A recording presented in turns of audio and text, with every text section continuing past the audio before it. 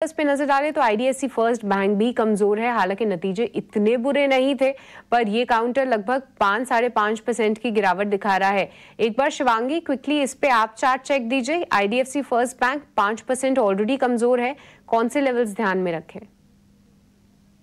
आप जी, इस स्टॉक में हम देख रहे हैं कि एक वीकली बेसिस पे ब्रेकडाउन देखने को मिल रहा है। एंड कहीं ना कहीं ये जिसका जो लॉन्गर टर्म स्ट्रक्चर था वो अभी भी you know towards the you know southward direction ही है। तो यहाँ पे हम देख रहे हैं कि कोई भी यू नो बाउंस पे हम सेल uh, कर सकते हैं बिकॉज़ ओवरऑल स्ट्रक्चर जो है इसका काफ़ी नेगेटिव हो रखा है। हालाँकि बैंक निफ्टी जो है अभी भी फुल्ली uh, नेगेटिव uh, नहीं है। सो so यहाँ पे एक अच्छी बाइंग है एंड सिलेक्टिव बाइंग में सिलेक्टिव बैंकिंग स्टॉक्स में अच्छी तेज़ी देखने को मिल रही है।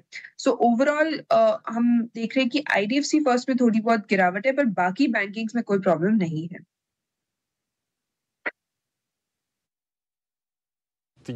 स्टॉक्स तो आपके लिए और